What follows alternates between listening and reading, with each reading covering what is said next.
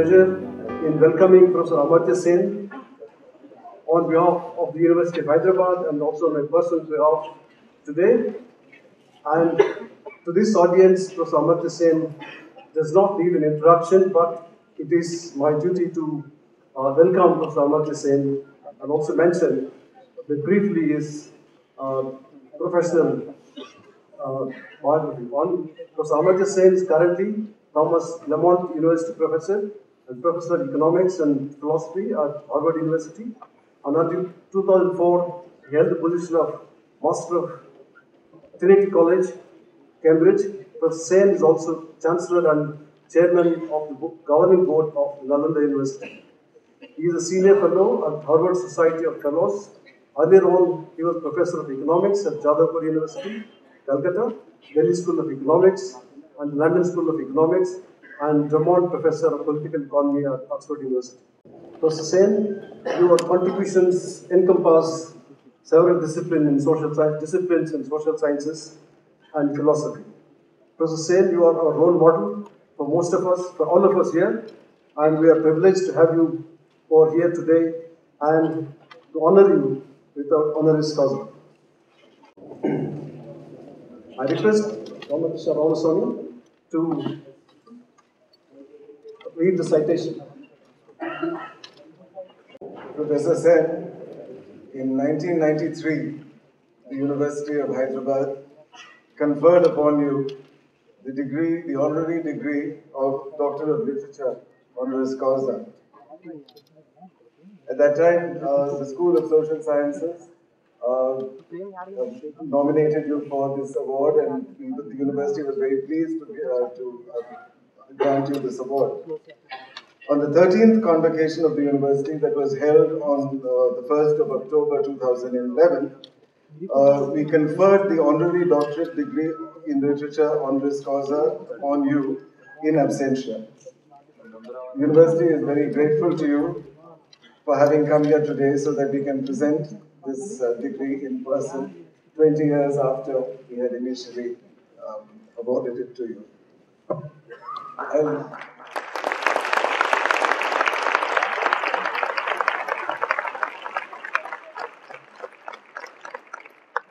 Professor Sen, you are one of the most significant economists of our age and an outstanding voice for justice in the world today.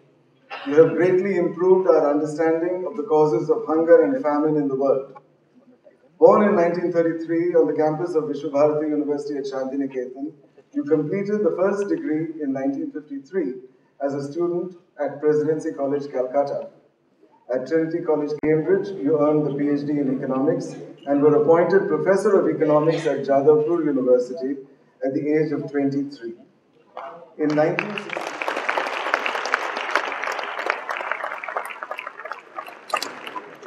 In 1963, you moved to the Delhi School of Economics, where you stayed till 1971. During those years, you developed the seminal work on social choice theory, leading to the publication of a path-breaking book, Collective Choice and Social Welfare, which deals with the relationship between individual preferences and their aggregation into collective preferences.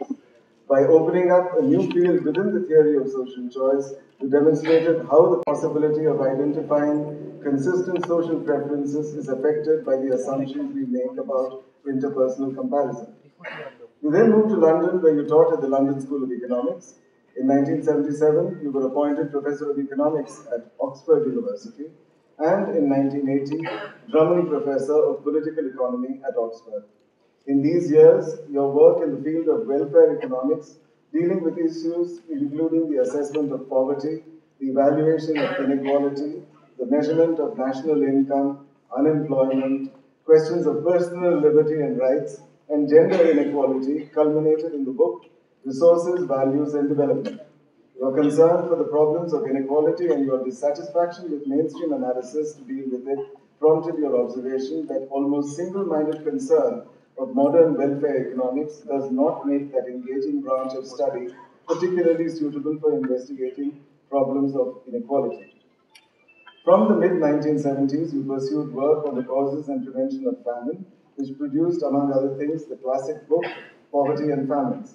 From the mid 1980s, your work became increasingly directed to the nature of individual advantage, which you approach from the point of view of understanding personal ability, which depends on physical and mental characteristics as well as on social opportunities. At the end of the 80s, you took up professorship at Harvard University and remained there till 98 when you became Master of Trinity College, Cambridge. In the same year, you were awarded the Nobel Prize for Economics.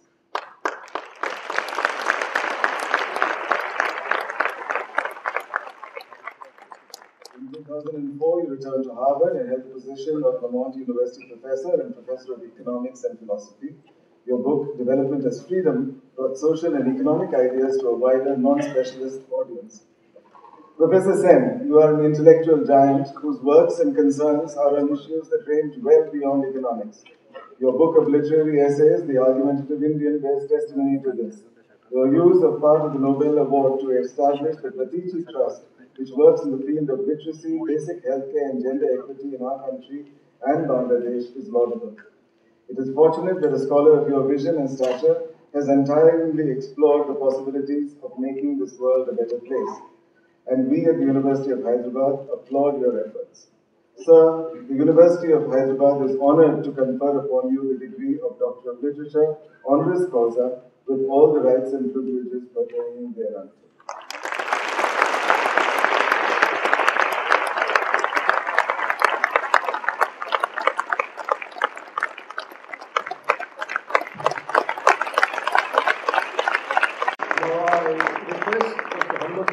Chancellor of the University to present uh, degree certificate and academic votes to Osama Hussain.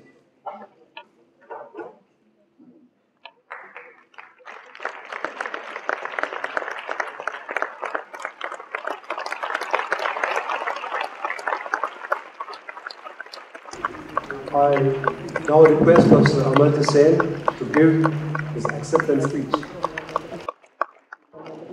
I'm obviously very moved, very touched, immensely proud, and feel extremely privileged to have this connection uh, uh, in this wonderful form with uh, the University of Hyderabad. And I think since I'm giving a lecture later, I, I, I think I'm trying to do an acceptance speech would be difficult. I know that Hyderabad University has spoiled me by giving me the degree repeatedly until 93. now, I don't think it should be retaliated by repeated speeches. so I would just thank uh, the Chancellor, the Vice Chancellor, and for every one of you present here. And especially still uh, to see my old friend, Professor Priya Rao here.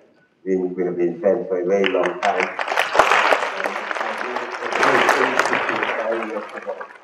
And uh, absolutely thrilled by the achievements there. So I'm very pleased uh, that I'm getting this degree. Thank you very much. Now we move on to the next part of this program. And as part of this program, Professor Sen will deliver the first Hyderabad uh, lecture in the Hyderabad lecture series. And I request Professor Ramakrishna Ramaswamy uh, to mention about a few words about the lecture series, Hyderabad lecture series.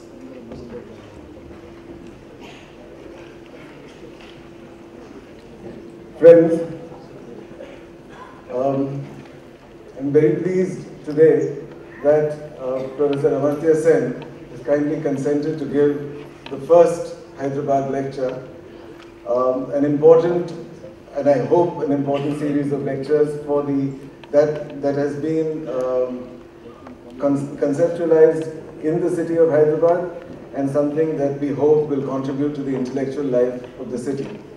Let me give a little background. Uh, several people in this, in, at different institutions in the city of Hyderabad um, have mentioned the need for uh, some kind of intellectual life for the city. And based on these conversations with a variety of people, uh, we thought up of having the following kind of format. A certain amount of money that could be set aside every year uh, for conducting these lectures and to have the person contribute to the intellectual life of the city by bringing issues and concerns of, uh, that are of uh, uh, contemporary interest.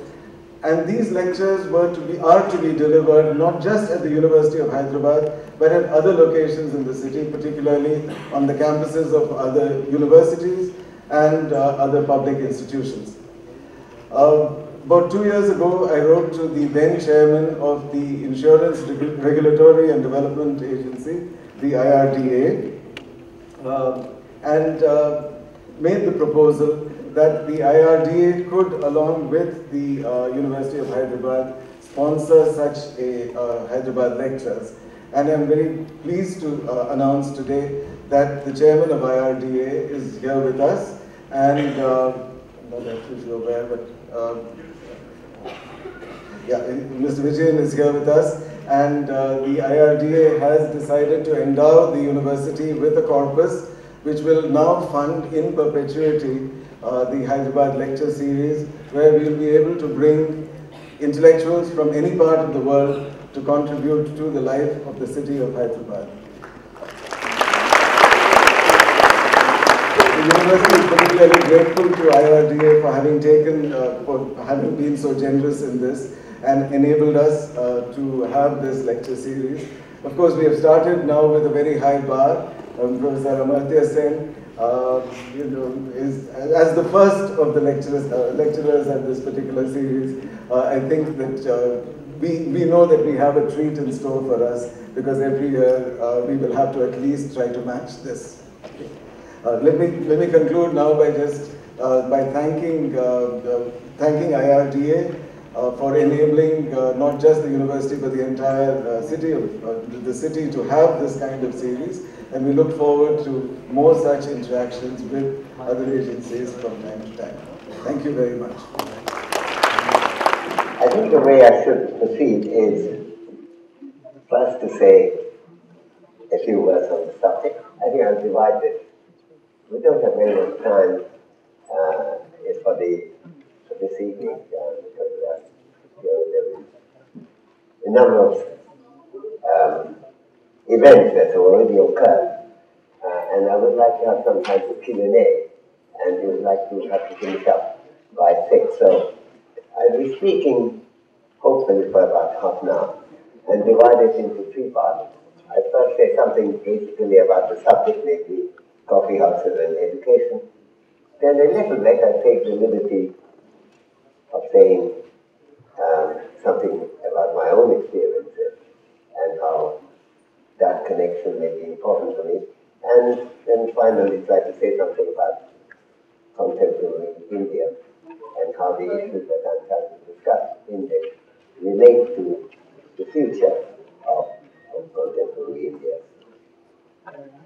The, I mean, obviously, when we talk about coffee house being important for education, um, we couldn't possibly mean education at every level, primary, secondary, etc. The topic that is mainly about higher education.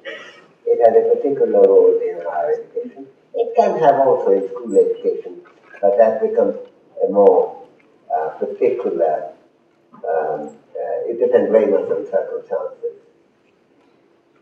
Coffee house as a concept is the importance of having dialogue and discussion. Because coffee house is a place where that actually happens. You get an opportunity of getting away from your class and you talk with others and you have an opportunity to talk about issues that concern you. Uh, that could include the kind of issues that's being brought up now, namely the the plight of the, uh, the, the, the neglected and, and maltreated part of the Indian population over thousands of years, which include Dalits, not only Dalits, but also include scheduled tribes in a very big way. And their deprivation is sometimes even larger than that of the Dalits, as our book on, on, on uh, An Uncertain Glory brings out. Now, I think the issue here is this that if, having chosen to live in a democracy as we have uh, in India, if only implicitly, um, uh, by remaining like I have an Indian citizen, as I am, though I teach in America, I've been exclusively an Indian citizen, I accept the democratic prerogative that the way to bring about a change is through discussion, persuasion, and ultimately voting, as well as um, demanding action, which can include uh, agitation in the street. I've been involved in uh, food, uh, right to food agitation.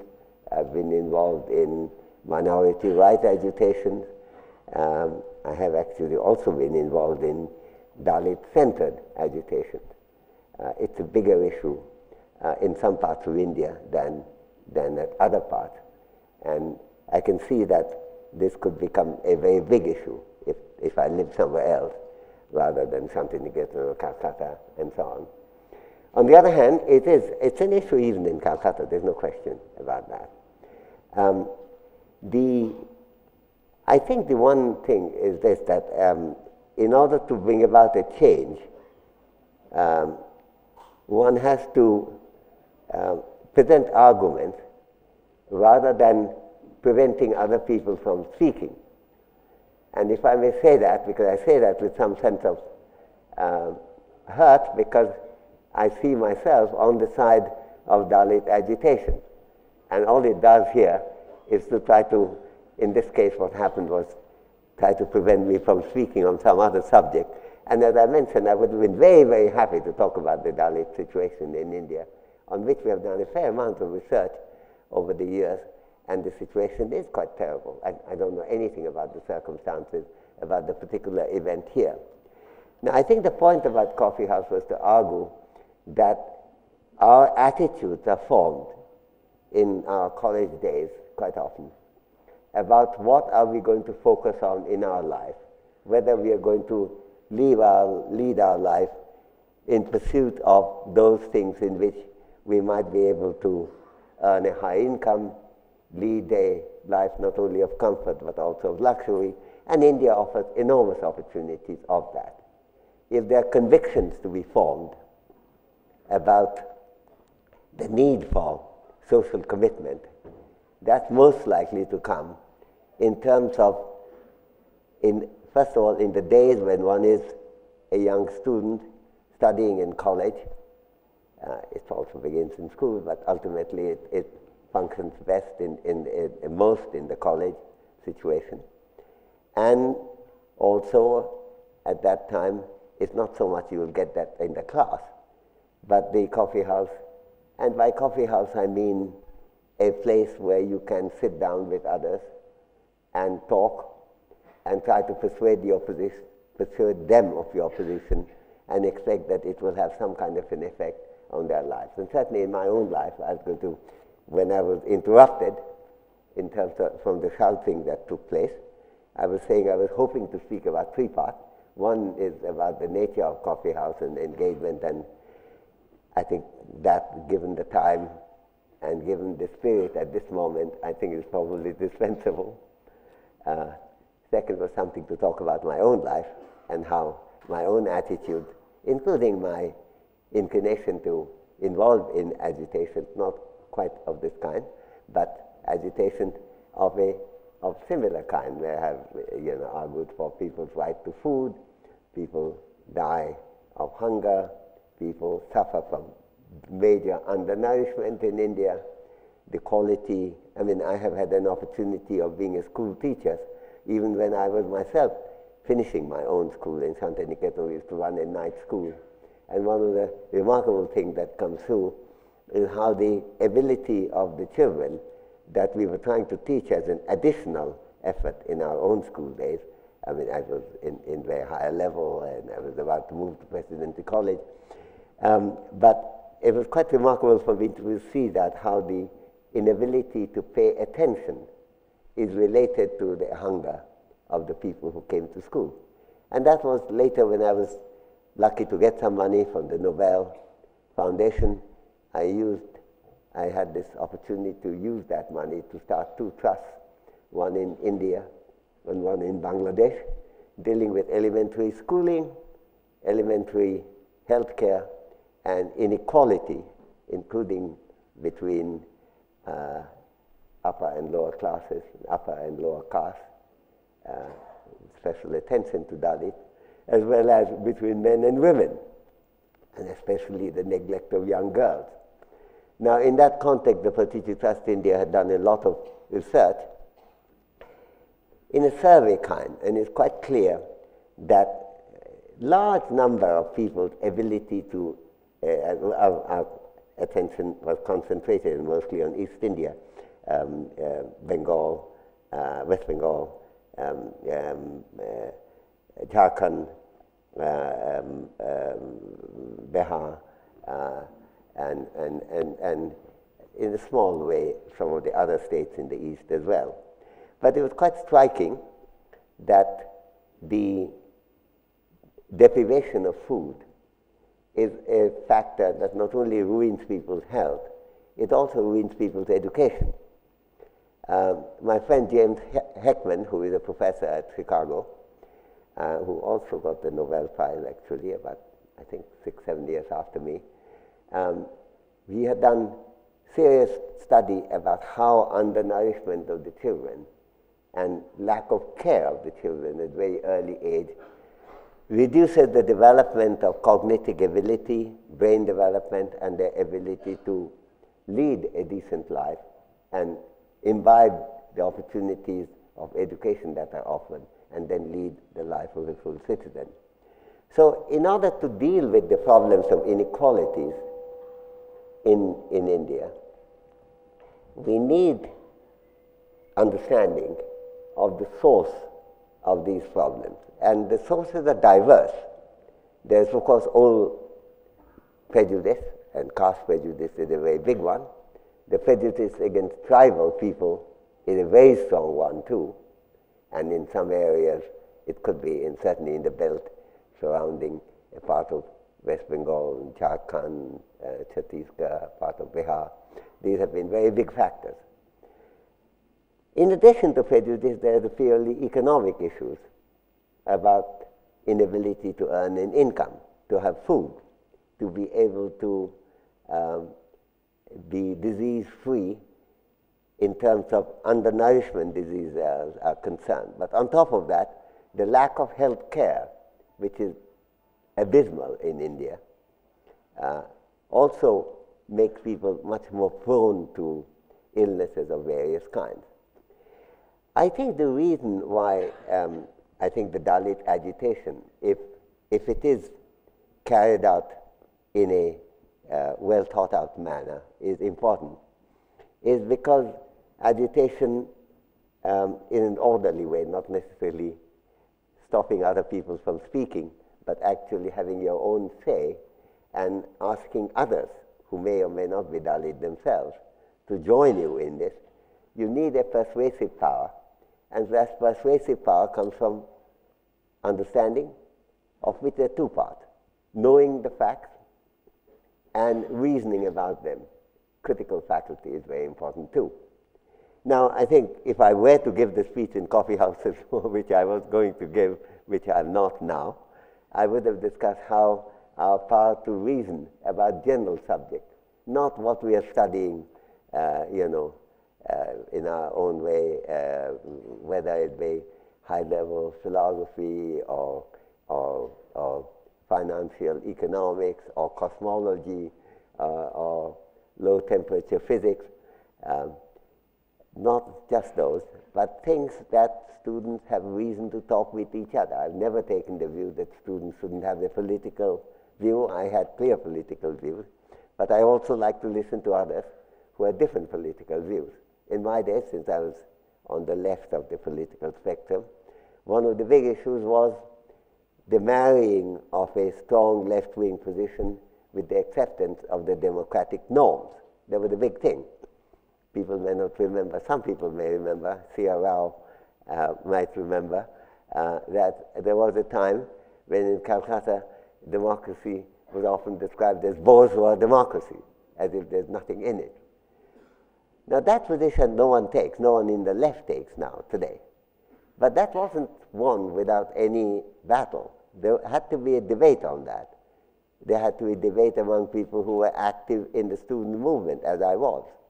And often some of these debates take place in coffee houses, why democracy is important, and why the fact that the Soviet Union, despite its major achievements in basic education being spread across the country, which Rabindranath Tagore praised enormously when he visited Russia in his book called Russia Chithi in Bengali, Letters from Russia. And the, that was actually banned by the British government. And interestingly enough, it wasn't republished, it wasn't published until after independence. So that was a high praise of the Soviet Union in education and about healthcare. And yet, there was a, somehow the, the, the Soviet Union also produced uh, gulags and lot of terrorizing realities and ultimately collapsed under its own weight. So uh, that was a nature of an argument there, namely that democracy is needed, though the temptation to go in some other ways could be strong. Democracy is needed ultimately to have a solid system of equity without undermining yourself in different kind of in inequities uh, uh, that, that may not be within your horizon. You might be think about the illiterate, about the hungry, but then there are also the political prisoners, the minorities who are discriminated against, uh, people who are taken uh, in the absence of habeas corpus, taken to jail and not allowed to move the law. Uh, all those issues have to be discussed. So these were among the issues that we were discussing greatly, even as the left-wing parties in India were moving from, uh, uh there are many anti-democratic left-wing parties even today, but the mainstream left-wing parties, by and large, moved out of that to a pro-democracy position, being a full partner of the uh, of the of, uh, of, of, in the in the election that resulted. Um, uh, I, I think that was one of the issues. Also, the issue that one of the questions that often came up was the importance of judging economic progress, uh, whether we judge it by economic growth, which was the standard way of doing about it. Later, I would write on it, and I'd help uh, my friend Mahbub Haq to um, start the human development report, including uh, having a hand in making the Human Development Index. Uh, but those discussions actually started not so much in Calcutta, where my main partners were people like Professor Sukhamoy Chakravarty, probably the strongest influence on me in my student days in Calcutta. But when I was in Cambridge later, I met Mahbub Haq on my first day's arrival, and we talked a lot about what ultimately became human development. We were quite young students then, but we were discussing, uh, and I remember one conversation where Mahbub Haq told me, judge, judging things by GDP, he said, look, if India and Pakistan have the same rate of growth as the maximum that's being achieved at this time anywhere in the world, then in 40 years' time, our per capita income would be that would be similar to that of Egypt. Would that be what would be regarded as a great achievement over more than a generation? Now, I should explain that Mahbub wasn't anti Egyptian. He was just pointing out that there are better things we can do, even with low income. We could get everyone fed, we could get everyone taken care of in terms of health care, we can get 100% immunization, which India still doesn't have, only about 60%. Bangladesh has close to 100%. We don't. Uh, and there are issues that we can take up. Unfortunately, the engagement has been limited in India, and that's the subject matter of the, my, my joint book with Jean Drèze, An Uncertain Glory, and as to how those things we could have done, we didn't do. Uh, first, when India's growth rate was low, when the Indian economy became independent, people don't actually recognize how low the growth rate was at that time. Immediately after independence, India was growing at three, three and a half percent per year, and everyone complained that it was too low. It was too low. On the other hand, what was it following? It was 200 years of virtually no growth at all. We don't have data from the whole period, but we do know that Adam Smith in 1776 thought that India was one of the richer economies in the world. He knew mostly about Bengal, and he discussed, compared favorably the living standard in Bengal compared with that in Europe. And he asked the question, how come they, these areas are so rich? And he attributed, and not without reason, that they have gone into trade and the rivers, the Indo-Gangetic channels, uh, had helped in that. Didn't know so much about the south, so Narmada and Krishna and Kaveri didn't figure in that, but similar argument could have been made. But by the time the British were leaving, India was one of the poorest countries. We don't have growth rate for the whole period, but we do know in the first half of the 20th century, the growth rate of India GDP per capita was 0.1% a year, which is virtually zero. And that was for a 50 year period preceding independence. So the 3.5% after growth, after India's independence, was a big jump up, even though it couldn't look like that compared with other countries. And as compared with India later, they gradually, the growth rate moved up, became 5%, 6%, 7, 8, even 8.5%. Now it's come down, but even, even now India's growth rate, 4.5%, 5%, is among the higher growth rates in the world. It can be raised a lot more, and we have to ask why not? What's preventing it? On the other hand, when these growth rates are, take place, what happens? Now, I'm going to quote Adam Smith again from 1776. He's asking why do we want a good political economy and a good expansion of the economy? And he gives an answer. We need it for two reasons. One, it raises people's income, which allows them to do what they would like to do, have a better standard of living, having greater capability. In fact, even though I'm often given credit for inventing, uh, developing the idea of capability, many of the ideas go back to Adam Smith.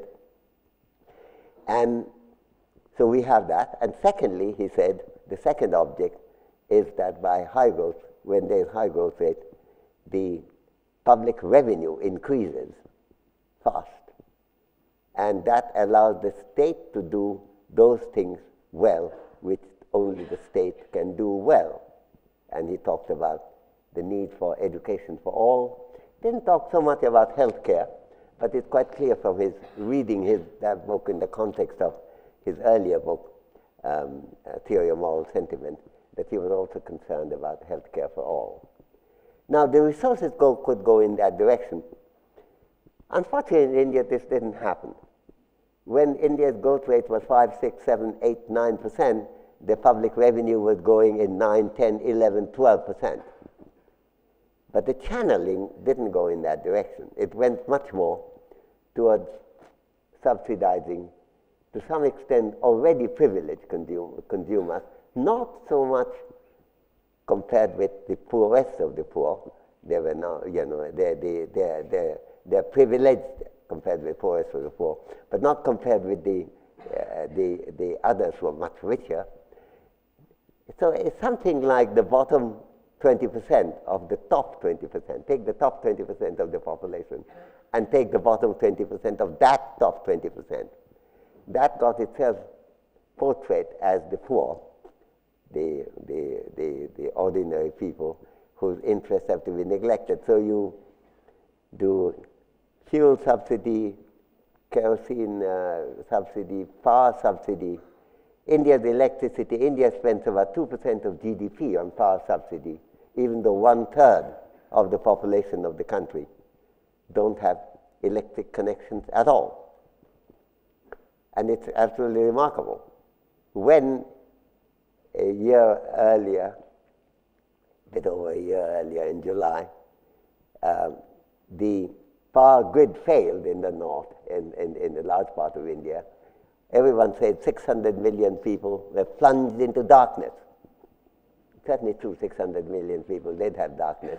But of these 200 million people, never had any electric connection at all. That didn't get any kind of media attention. On the other hand, the enormous failure for those who had the power and used to cheap subsidized power did. There's tremendous complaint about food security bill. And there are many ways that the food security bill could have been much better uh, produced. I don't doubt that at all. But on the subject that we can't afford it, it's worth noting that we spend much more on subsidizing power for those who have electric connection than we do on food security. It's quite a remarkable thing how the media and the dialogue has left company with the factual reality of India. And why does that happen? What's the remedy? The remedy isn't not to make the media do certain things. That is the worst remedy to think of. It's one of the glories of India that we have a free media. It has to be something of the nature of the interest of the media to cover these issues. And ultimately, the media believe that people are interested in the issue.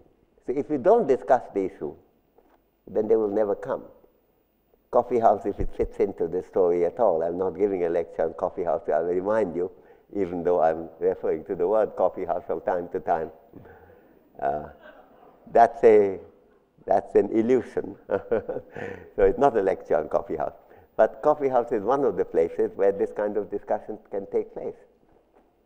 I remember being enormously moved. I mentioned uh, Sukhamoy Chakravarty a big influence on my life. Actually, I was doing physics, maths and physics when I first met him.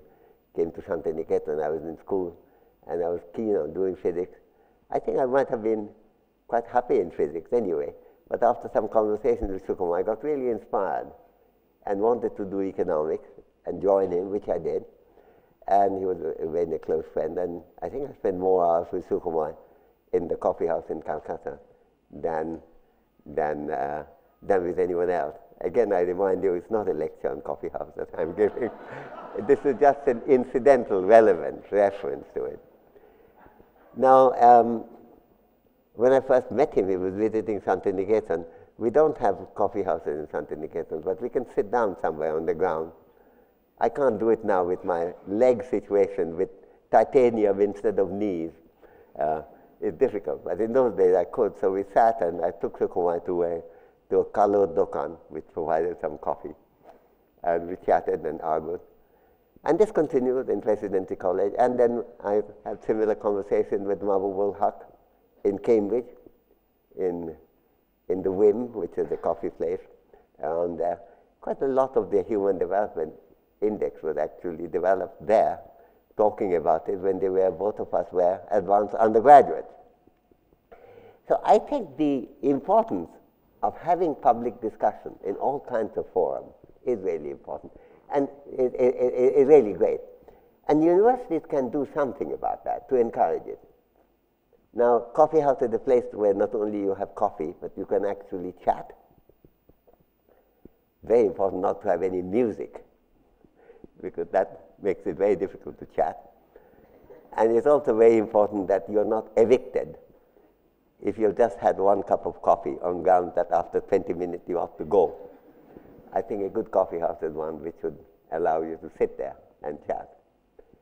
And I think I had the sense uh, the coffee house we had in Calcutta, we were very lucky. It was run by the coffee, uh, the coffee workers union. It was the workers union which ran it. So they had a certain amount of sympathy on the subject that we were discussing. So we were hardly ever evicted. Every now and then, maybe a gentle suggestion that we might have some, if not coffee, at least a bhaji or something like that. Uh, so um, I think we ended, I think in, quite often my attitudes were formed in these discussions. I was doing some economics too, and so was Sukhamoy, so were others like Barun Dev, Patu, uh, Patu Gupta, and a number of them, most of them are dead now. Um, but the opportunity to discuss really serious issues, grumble about what people are not doing, not just grumble of the government, but also about political parties, in many ways, the left party seemed the natural one for me to be sympathetic to. They were concerned with inequality. They were concerned with the Dalit issue. Not adequately to start with, but gradually they became more interested. They were interested in scheduled tribes. And all these um, still required one to ask, is, do they have a right attitude to democracy? Do they have enough respect to human rights? Are they factually really aware? Do we get a really frank picture of what's going on in the Soviet Union and China from them? And if not, why not? All these are subjects of discussion. And I think um, this is a very serious issue today because if you look at, look at India today, you find that there is a reality which doesn't match people's perception. You have to be told, for example, that the government is overextended here and it's doing no good and it should be privatized if possible. A lot of people will tell you that. Now, certainly government had been overextended in doing things which it couldn't do well, like licensing uh, and preventing individual initiative, or even business initiative. I have great sympathy for reform. At the same time, it was very underactive, uh, underactive in education and healthcare. India spends 1.2% of the GNP on, uh, of the GDP on governmental healthcare. China spends close to 3%. Uh, if you look at the share of government expenditure in total health expenditure in different countries, India is of the 200 or so countries is among the bottom three or four in the company of Haiti and Sierra Leone. Why? But even before that, is that perception clear? You will be told, no, the government is doing far too much. We have to privatize it. And in fact, which is that's what we have done, because the, the basically the poor, because the, the, the public health uh, clinics are run so badly, and the Pratichi Trust, which I was privileged to set up with my Nobel money, we did survey some of them, are very often badly manned, very badly resourced, very badly um, uh, provided with amenities and, and, and, and medicine and, and, and, and medical instruments. And so people have to go to private health care now, one of the things we know from economics is that private sector can deliver health care very badly indeed for very poor people if there is no alternative of the state. Why? Because we know from economics, this is what the economists call asymmetric information. Three people got the Nobel on that subject many years later. Uh, uh, George Akerlof, Joe, Joe Stiglitz, and Michael Spence. This is because the buyer knows something which the seller doesn't, and seller knows something the buyer doesn't. Now, when, you, a poor peasant is ill, he or she has no idea what the ailment is. A doctor is supposed to have an idea. So there's an asymmetric information. And in that kind of a situation, in a classic paper, one of the great economists of our time, Kenneth Arrow, showed why the private sector cannot provide efficient health care under these circumstances ever. And the result is that you have to have expansion of state-provided health care. That every country in the world has done. Europe, and even if the Americans only now are talking about Obamacare, they provided basic epidemiology. There was no question of incomplete immunization as in India. And even the hospital, public hospitals, like Harvard Medical School hospitals, they couldn't turn anyone away if they needed it. Now, it's a very inexpensive way of providing health care, and it's not a good system. On the other hand, it does accept a responsibility which in India is not accepted. In Europe, of course, it's accepted in a big way with the National Health Service. So it is in Japan, so it is in Korea, so it is in Taiwan, Hong Kong, Singapore, Thailand, which has a completely universal health insurance, and in China. They vacillated for a while after the economic reform of 79, but now they're back to nearly full coverage. So I think the perception that India is way out in government not doing its job is very important. Now, sometimes people would say that's because the government uh, cannot do anything in India. Why can't it do anything in India when it can in every other country? And if not, rather than just saying, let us therefore give it over to the private sector, which of course is a way of, in the case of the basic public health care in, in, in, among the rural population, is to give it in the hands of people who may or may not have much medicine anyway, and who certainly can count money and the result could be an absolutely disastrous system of healthcare as we have. In Bangladesh, which used to be three years behind us in healthcare, in, in life expectancy, is now three years ahead. This is partly connected with the fact that they had done, to a great extent with the help of NGOs, but also government activism more, and certainly, and that's a very important point, by women's agency. Bangladesh's economic, the medical success, on which I'm, i was privileged to write an article in the medical journal Lancet in the current number, in the December number. Um, it turns out that it's really enormously the activism of the women which had made this possible. The proportion of women actively engaged in employment, industrial, educational, medical, are enormously lower in India than than in Bangladesh. Makes a big difference. So we have to see about the delivery issue. If you look at India, Kerala began basic education for all and then basic health care for all. When I wrote supportive things on it in 1950s and 60s, 60s mostly, I was told that Kerala had doing something which it cannot sustain. It's a poor economy. And since it's a poor economy, it, it, it's unaffordable. But the argument was, and that argument actually also goes back to Adam Smith, that there's nothing as important for economic expansion as healthy and educated workforce. So the hope was that Kerala would grow faster, and indeed it is. And instead of being a poor economy, it has now the highest per capita disposable income uh, among all the Indian states. To some extent, the same thing has happened in Tamil Nadu. Same thing has happened in Himachal Pradesh. And these are stories that you won't hear actually. Why not? Why doesn't the media take an interest in it? And why doesn't the public want to hear it? So the culture of public discussion of really important social matters is quite central. The story of the Asian economic development, which India has missed out, is not only a, a governmental miss, missing out, it is also a public missing out of the reality of it. What is the story? When, I mean, Europe and America had already done it on the basis of governmental initiatives. But when Japan in Asia, after Meiji Restoration in 1860s, decided to go in that direction. Their first thing was to educate everyone in the country. And as one of the leaders, um, I think uh, Kido Takayoshi said, that we, this is 1869, I think, that we Japanese uh, and Americans are no different.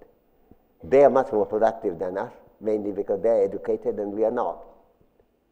So they decided immediately to go for 100% literacy, and within 45 years they achieved that. And by 1913, Japan was publishing more books than, not only publishing more books than any other country in the world, but more than twice as many books as, as the United States. And similarly, a transformation took place in healthcare. Rabindranath Tagore, again, when he went to Japan, noticed these changes and came away with an enormous uh, sense of admiration. But of course, just as the Soviet Union lack of democracy created a big problem in Japan, imperialism created a problem. And then there was a war, and then it went in a completely an ultra-nationalist direction. But the lesson of Japan stayed on. Korea, immediately after the war, went for massive expansion of education, healthcare. Taiwan, Hong Kong, Singapore, Thailand, and China going through periods of turmoil. The Maoist Mao himself was quite committed to education and healthcare. On the other hand, there was, there was, he was neglecting the market economy, which has a very important role in the progress of an economy. Uh, we shouldn't make the mistake of assuming that the market doesn't do any great thing. It does do great things. But it had to be confined to its sphere. And where the state and state alone can do it, as Adam Smith put it, there the state has to use the public revenue for that purpose. That's the dialogue which we want. Why is it that we're missed out on the Asian story of development, which is that of development through human capability expansion?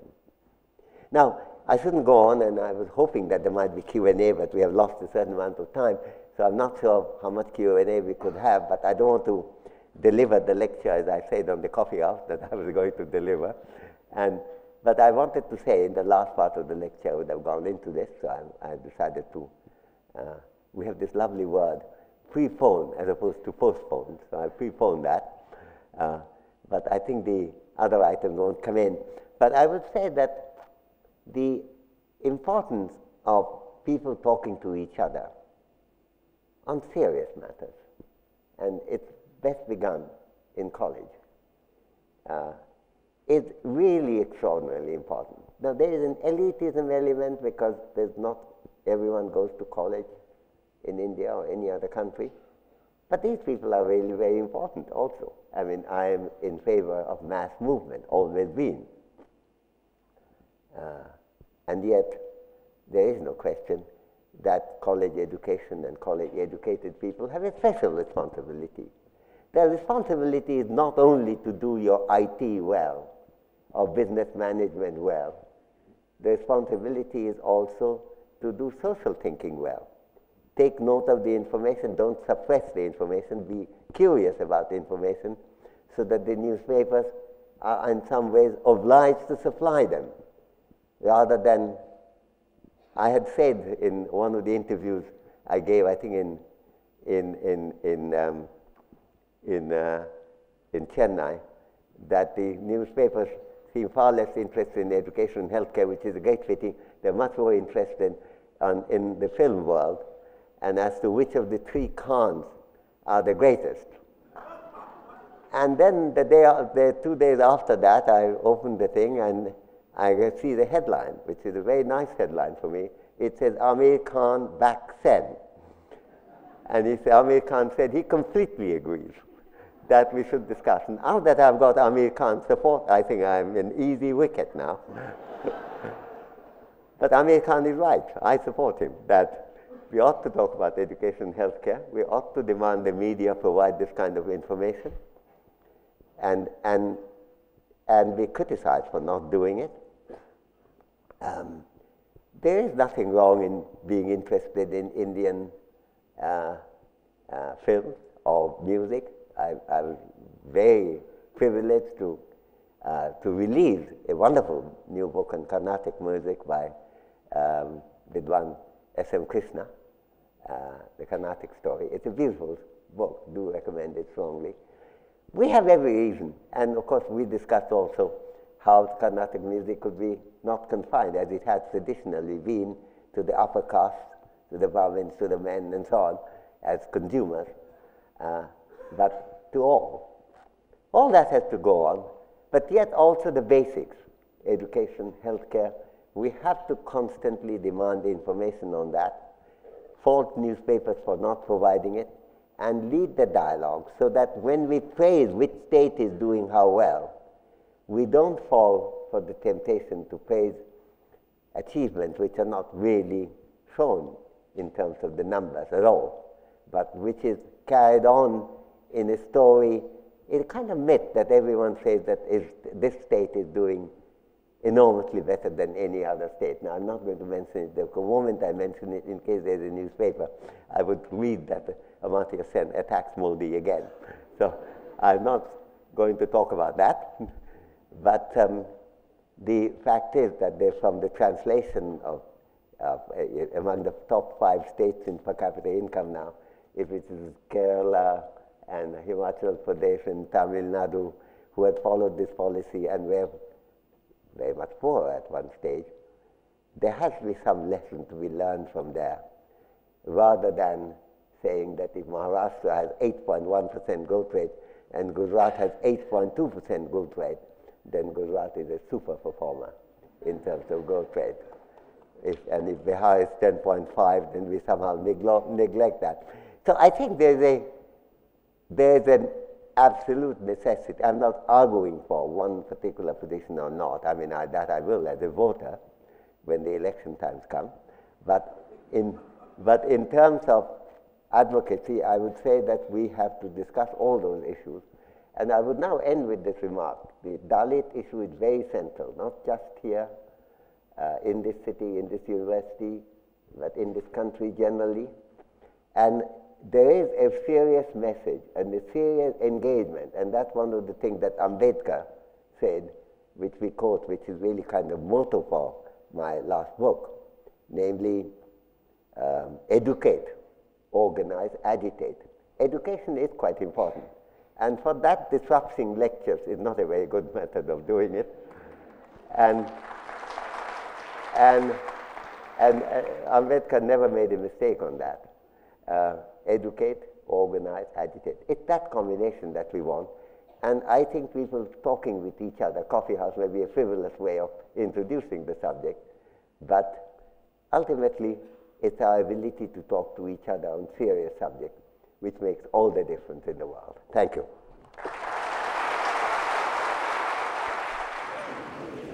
On behalf of all of us, thank you so much for, for this wonderful lecture and especially for, uh, for doing it um, in, in, this, in circumstances. Uh, there is time.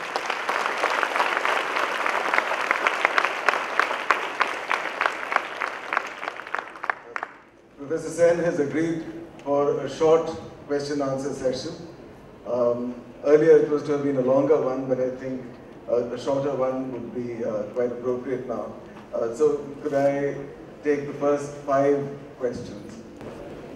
Sir, like, how is professional equality related to the progress of a nation? Here, I mean, professional equality means, suppose we have different professions, uh, like if you take sports, uh, scientific area of research, and uh, politics, like uh, if it's taken as a profession, and some different professions. Like, how is professional equality? Different members topmost members of those professions treated, if they are treated equally, uh, how the country or the nation would progress or if they are not treated equally, how the country will be like. What is its uh, uh, position? Uh, how far it, is it good?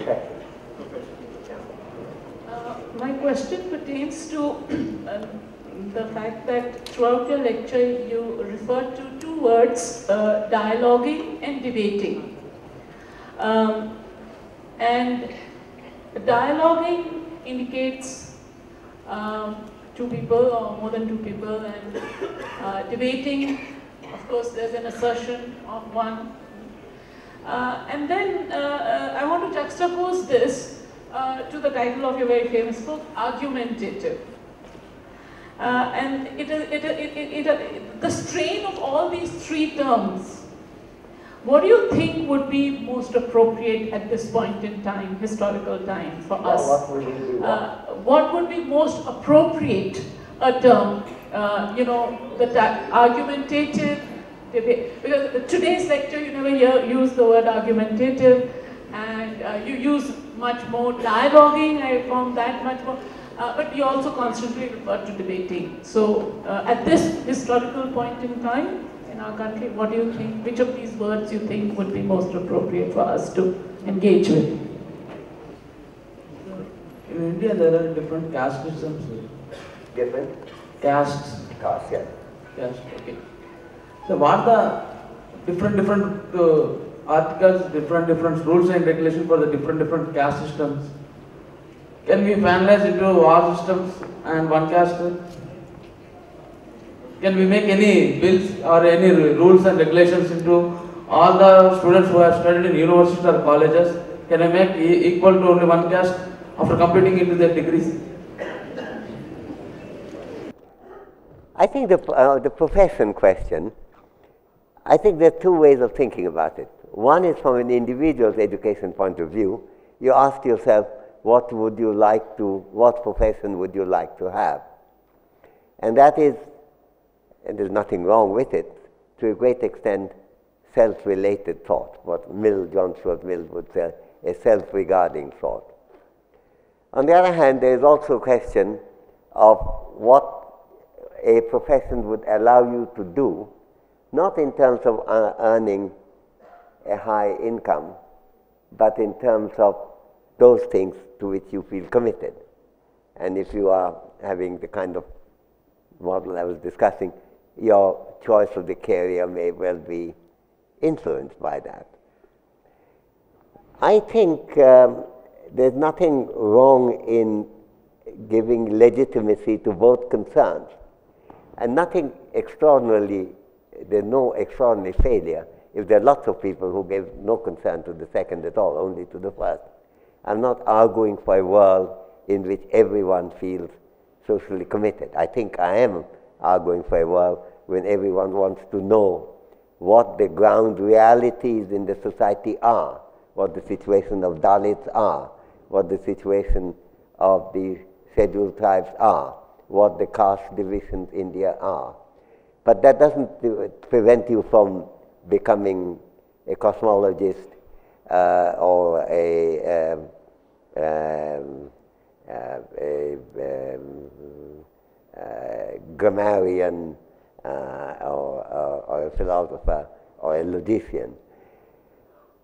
I think there's a distinction. So I think um, what we have to liberate is the idea that a profession defines a person.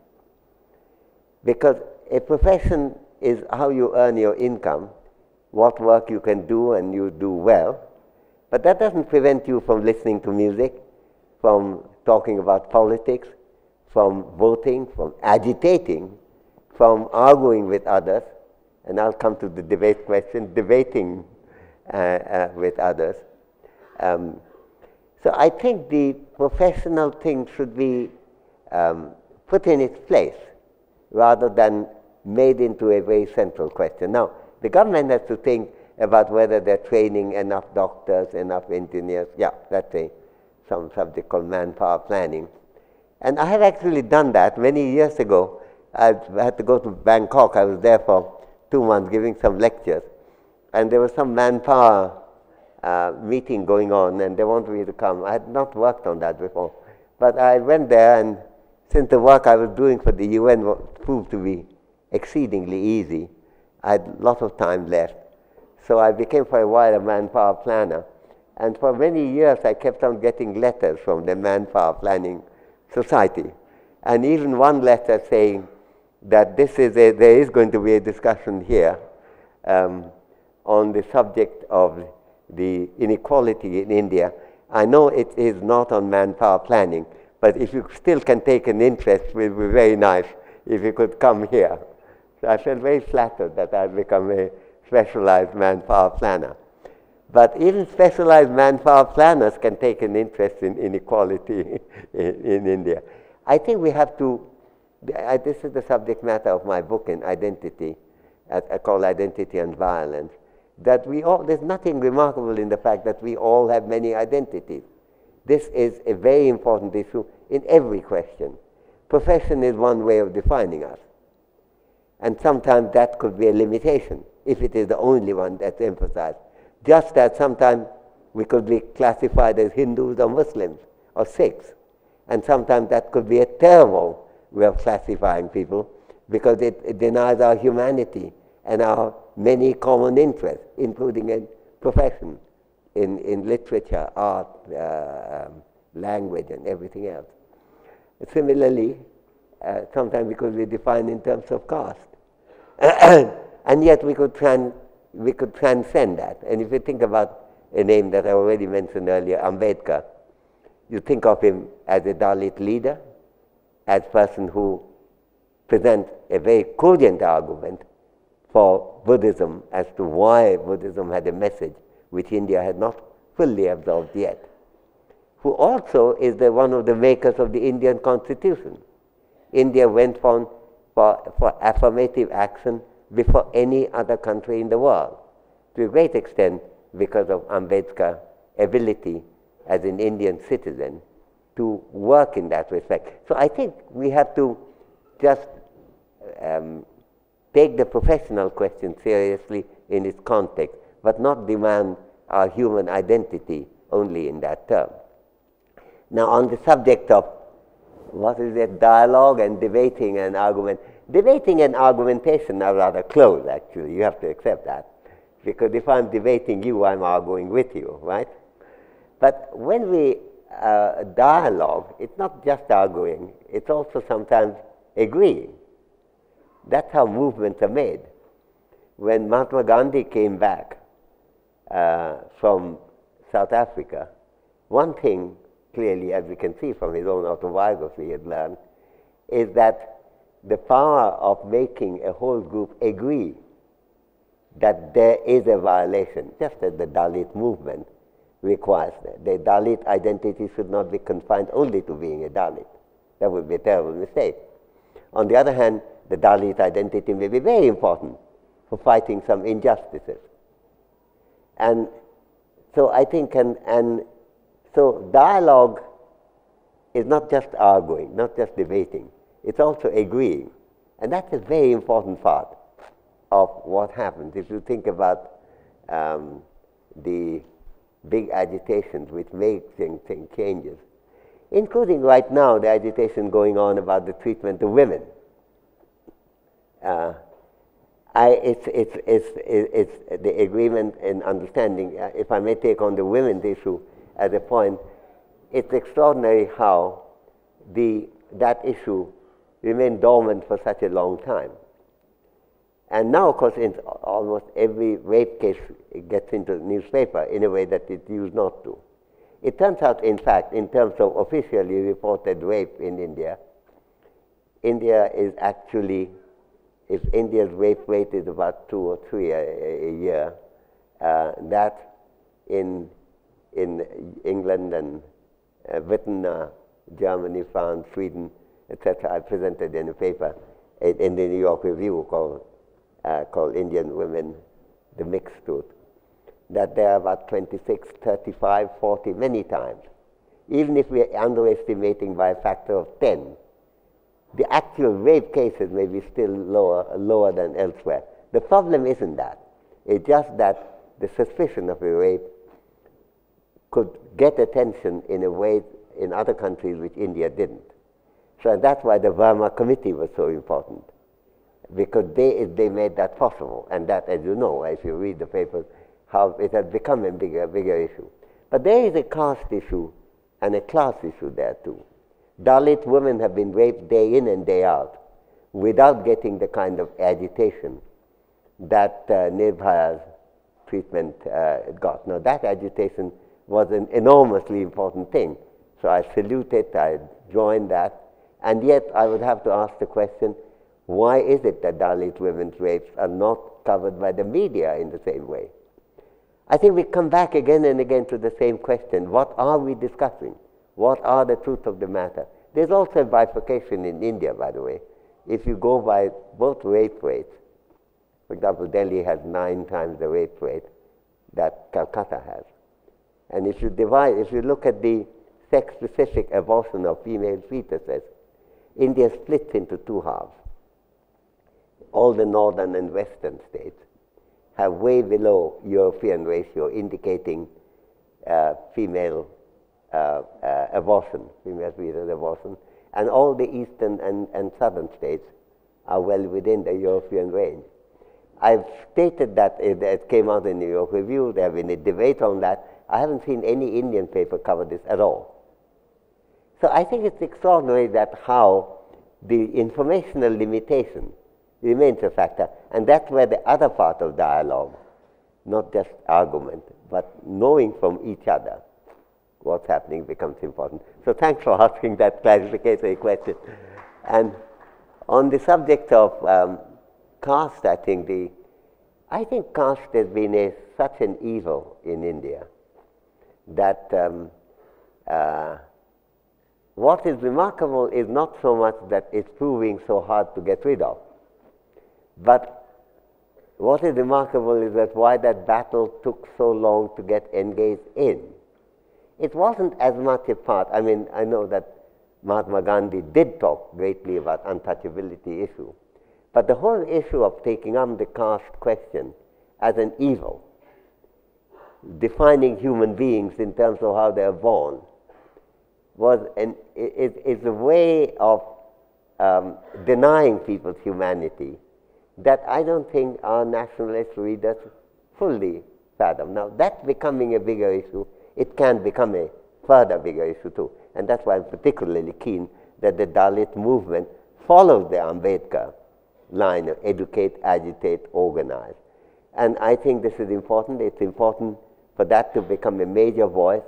And if you look at the newspapers, you will not get the impression that Dalits still don't get the kind of treatment of, of scheduled tribes don't. If I, we studied, for example, the editorial staff, Zoe and I did, Zoe did mostly. I have a lovely partner relation with Zoe whereby he does 90% of the work and I get 90% of the credit uh, and blame too. but he did most of it. We couldn't find among the editorial group a single Dalit, not to mention single scheduled caste, in any of the major papers. Very rare. I think he was looking only at Allahabad, admittedly. But I think it, there's a deep asymmetry. But an editor doesn't have to be Dalit to take an interest in this issue. People have taken an interest in this issue beyond their own, own orbit of, of, of birth. But we have to put that issue for dialogue, learning from each other, and debate, debating each other and arguing as to why do you say that? Why do you say that the, the Dalit issue isn't so big? Uh, it is big. And what's your argument again? And if we are worried that some leader may be, uh, may terrorize or, or, or, or, drive fear in the mind of minorities like Muslims, we have to, why, why is it that the people who want to save business progress don't see that there is a problem here?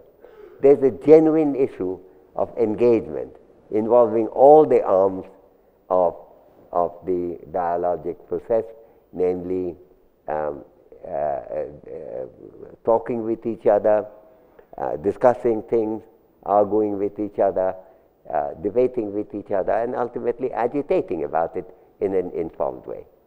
So thanks for these lovely questions. Sir, you have been accomplished in, uh, in the early part of your life in uh, India, then UK, then USA, uh, my question is, starting from the President Pranab Mukherjee's worry that nobody in India after uh, Raman has been able to get a Nobel Prize by working within India.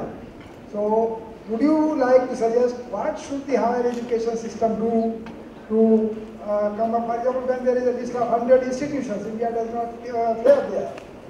So, there is something wrong somewhere. What is your opinion about what should the higher education system do? Um, given the importance given to Ambedkar and his ideas on equality as a right and as a force between as a force and uh, establishment of equality in difference and thereby establishing justice how do you uh, analyze the institutional implementation of justice as a distributive principle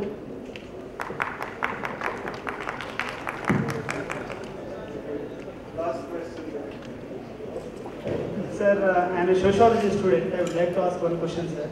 India, neoliberal India is facing two kinds, two models of development. One is neoliberal model of development, and another is the Janata Sarkar model of development for the tribals and. For which one you would like to choose in this uh, two in the two model of uh, development? And the other thing, you have given lecture on coffee houses. JNU has witnessed the breaking of Nescafe coffee house. It means it is a re-embourgeoisement, if, if you put it in a Habermas uh, terminology, it is a re-embourgeoisement of coffee houses. Does uh, India middle class has this dialogue, the space for dialogue and uh, uh, talk? Kindly reflect on this. Sir.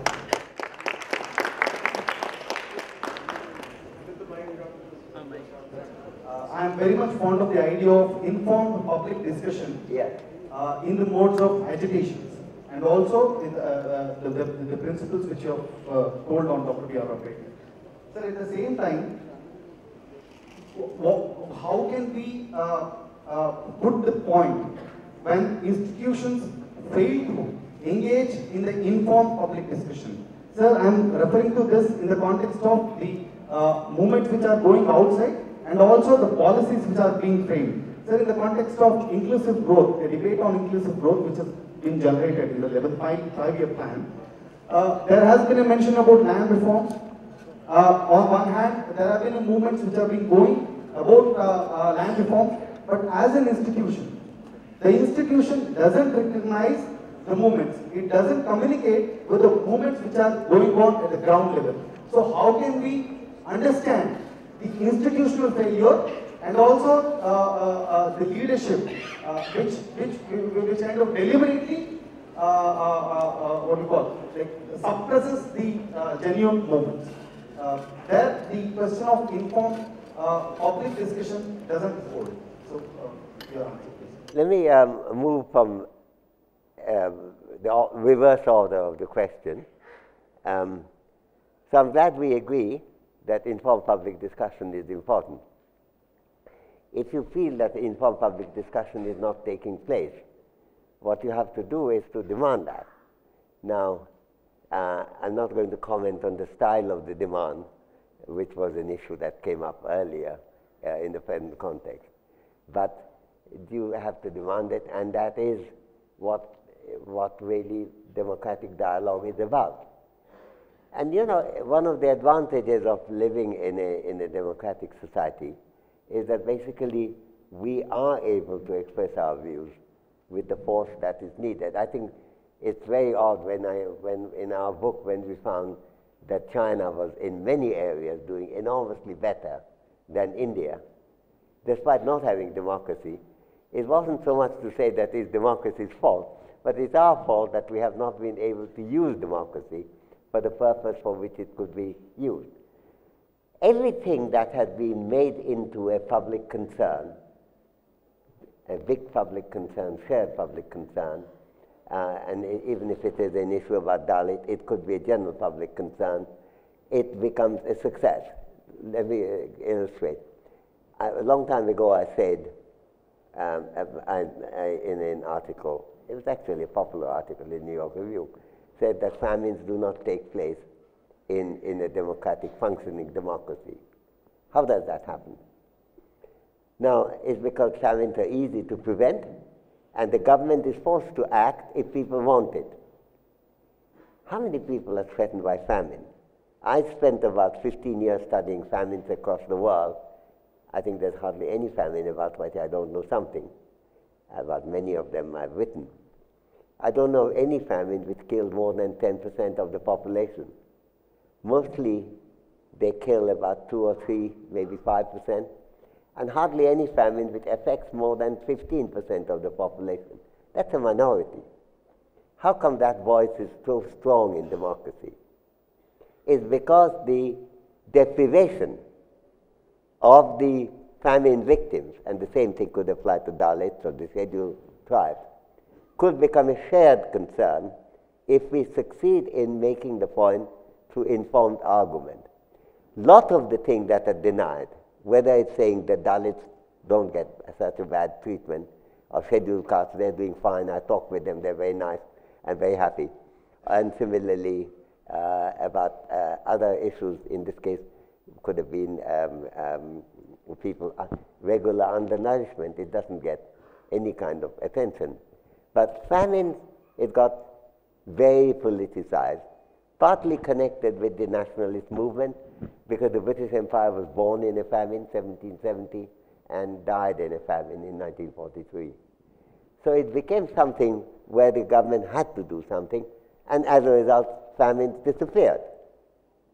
We were told not long ago that India was going to be the center of, of, of, of AIDS epidemic in the world, dwarfing all other countries. It became a major issue. There are a lot of books. I even wrote an introduction to a book by, uh, by, um, by, by uh, novelists, really, fiction writers. And it became a big issue. And now uh, no one really counts India as among the highest uh, AIDS population, AIDS mortality country. In fact, even the official estimate of the UN, which is lower, uh, uh, much uh, lower than was anticipated and lower than most countries, um, it turns out that in a recent study by Prabhat Jha, based on, um, on, on, actual mortality uh, background check, that we underestimate the death from malaria, but we overestimate the death from AIDS.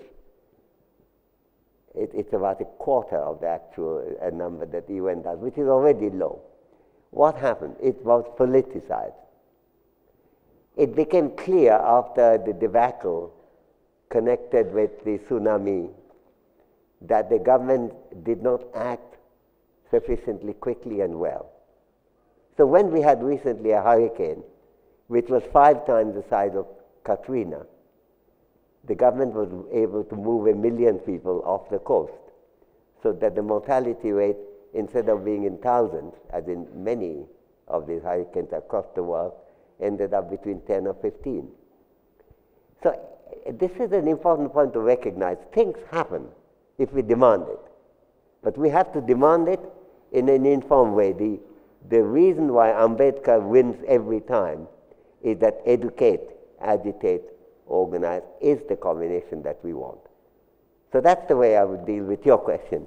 Now, on the subject of um, neoliberals, you know, I, these, these terminologies actually hide as much uh, uh, the process of thinking as they do, because what you do is that you use one word and then try to capture a complex reality in terms of that one word. There are big differences between people who want a market economy and people who want a market economy only.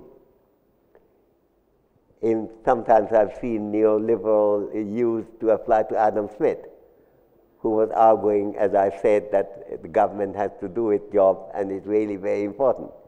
So I think the right way of thinking about it is not neoliberal, socialist, uh, or whatever you have, but to say what are the institutional combinations you're looking at. And you have to see whether the institutional combination is right. Take China, it's a very interesting case. During the Maoist period, they were not, not only not neoliberal, they're ferociously non-neoliberal. So they didn't give any room for a market economy. However, they educated people in school, not very good schools, but pretty much everybody, and they had health care for all, not very good health care, but for all. Never a situation like in India. But since the market was so badly neglected, the economy of languishing. China's per capita income was lower than that of India's then. Then came 1979, and then there was a wholesale change.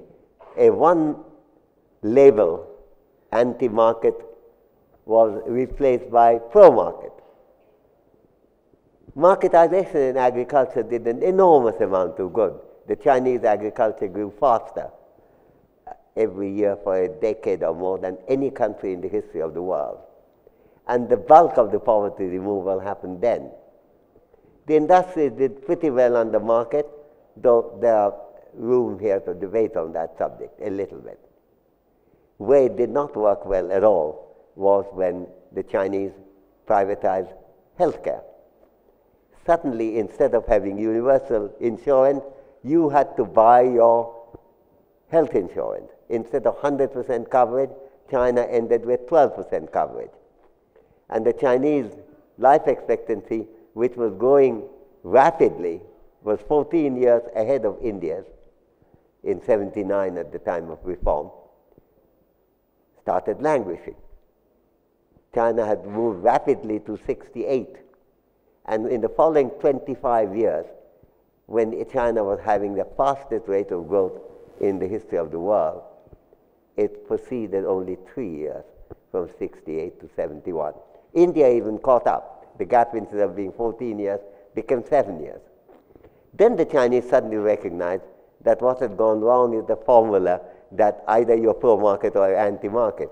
Market works brilliantly in some areas, but not so brilliantly at all in other areas.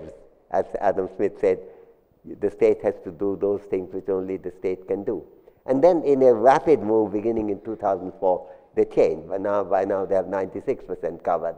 And the Chinese life expectancy is again, again galloping forward compared with, with India. Not higher than Kerala still. That's because Kerala already had the healthcare system of the kind that the Chinese uh, uh are practicing. And indeed, the Kerala's growth rate itself, as I discussed earlier, has been quite remarkable, not quite the Chinese, but very much higher than any other state, including Gujarat and Maharashtra. So I think we have to try to wean ourselves away from binding up our thought in this terminology like neoliberal, you know, we want, whatever it is, it has to be some form of capitalism, or what we want is socialism. I, you know, these words have a clear meaning, and in particular debates, yes, they do have a meaning, but, and they signify something, and I'll tell you a story on that in a minute at, at, the end of it, but I don't want to get into the story yet. But that's what I would say about that, that try to think about, break down your thought as to what policy do you actually want. You said something about coffee house and JNU. I don't know the story. And remember, I didn't give my coffee house lecture anyway. Uh, no. So there was the institute uh, question that somebody asked. I, I think institutional combination is very important, but human um, movement, including agitation, including discussion, including debates, are important because the institution can never take place of that. India has a democratic system. There's no reason why the grievances of the most deprived people, whether they be Dalit or the, uh, of, of the very poor or women, and if you happen to be a Dalit, be poor, and a woman, your chances are very limited indeed. Why is it that these interests do not receive the attention as in a democracy it should? Well, I think what's failing is not the institution, it's our ability to make use of the institution for the purpose for which we, we, they, were, uh, they were devised. And that's the, one of the points that Ambedkar made.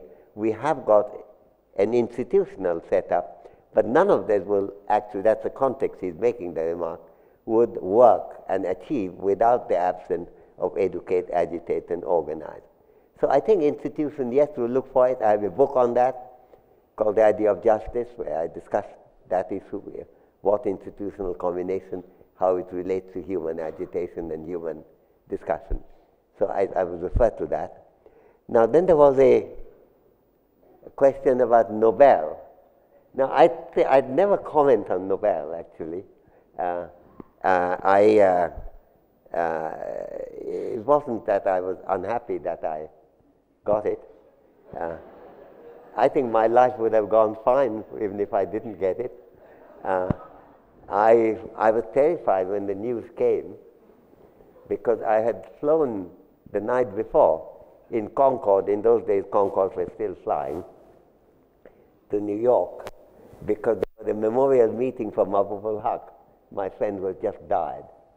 And I, I was speaking in the memorial meeting. So I arrived, went to bed about 12, and then 5 o'clock, they ringing up because it's 11 o'clock in Stockholm. And of course, you think that something has happened to the children because at middle of the night. And so when I picked up, and they said, this is the oil, and I thought that, you know, could be a motor accident or what. And so when they said this is the Royal Swedish Academy speaking, my first thought wasn't even no, Nobel. It was that it couldn't be any children because somehow it couldn't come by the Royal Swedish Academy. And then it occurred to me, it must be it, isn't it? And then it was. But then, of course, it, it's a bit terrifying because they don't tell you. The, first of all, they read the preamble, bearing in mind the will of Alfred Nobel, and and they've gone on. And then when it dawned on me, I was very tempting to say, "Come to the subject." but then, and then ultimately they did come to the subject, and and so I I had to um, uh, uh, uh um, talk about my work. Uh, and I, I, also perhaps add a story there too, that when I was, when I went, I, I think I went to CNN or CNBC, which had hooked up with Indian television. Naturally, that was what I wanted to talk to. So I went there. There was a Swedish gentleman with a camera on his back, and he said, um, uh, uh, um, um, I have to interview for five minutes. I said, well, I'm supposed to be here. No, no, they're setting up the stage for you. I would ask you only five minutes. And as we were walking, he said, um, I'm very surprised, Professor Sen, that you got the Nobel. so I said, well, I'm, I'm, I don't think that's a terribly nice thing to say. First thing in the morning. and he said, no, no, I have all your books. But I thought these bastards will never give you the prize. so that pleased me that at least some people thought I deserved it even before. and indeed, uh, there were more people losing money on betting on me uh, for three years preceding that. So in some way, they were blaming me, saying, Why aren't you getting the prize? Because I've lost, you know, there's this lottery, you put in a dollar, and then if you get the winner, then it's divided between the winners. So people have been losing money. Kaushik Basu, my student, said that for five years he lost money on me. And then in the year I got it, he did not invest in me. I told him that that's what good economics is like. but I ought to say, and this is a serious point, that the, um, in concerning Pranab, uh, uh, the presidents who are concerned, the papers for which, I mean, they added at the end other things. But the first two pages are all about my work that was done in the Delhi School of Economics. That was entirely about social choice theory. The first paper cited, even those who said that first time a non-mathematical work is being honored. Well, the first paper was called, that the cited is called Necessary and Sufficient Conditions for Binary Consistency of Majority Decision. Not exactly a non-mathematical title. So, uh, but that was all done in Delhi School of Economics. That was jointly done with Prasanta Pattanaik. I had terrific students in Delhi School of Economics. And I think my work in social choice theory wouldn't have gone at all like that. And in fact, between us, between my student, me, and others working with us, we transformed the subject. But that began in the Delhi School of Economics. So that I would like to emphasize. I don't think I have time to tell the story about identity. So I think I was going to leave it here. But thank you very much.